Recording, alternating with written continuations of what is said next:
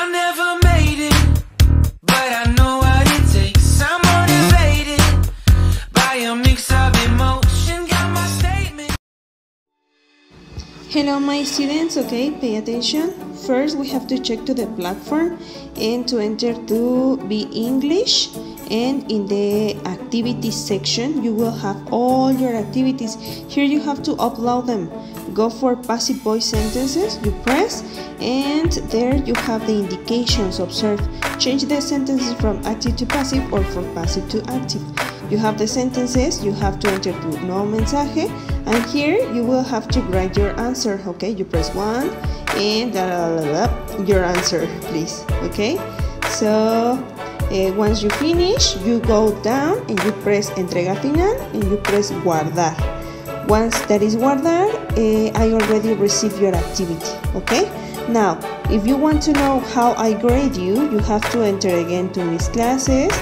Uh, to uh, be English, to actividades, and to press here calificaciones.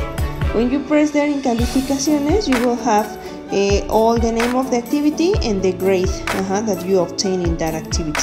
Okay? I hope that is useful. See you in the next.